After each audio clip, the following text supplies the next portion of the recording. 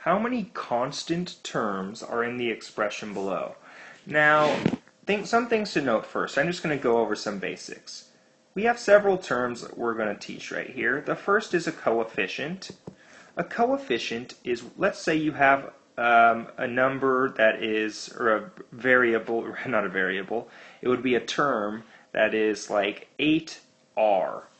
The coefficient is whatever the number is that you are multiplying by, in this case, r. So in this case, our coefficient would be 8.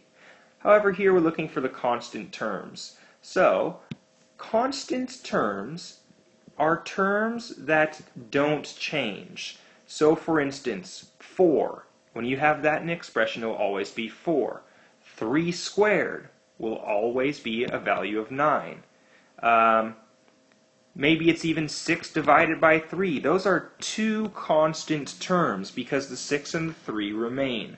It can also be seen as one whole term because we already know it's a value of 2. Now last we have what are called variable terms. Variable terms are any time you see a term like 8y or 4y squared. And the reason is y can be different numbers. It can vary. In this case, however, we're looking for constant terms. So, those are terms that don't change. We have a total of 1, 2, 3, 4 terms, of which 17 is constant. 5n is not, it's variable because n could change. 4 is constant, and 8 cubed is constant, for a total of 3 constant terms and 1 variable term.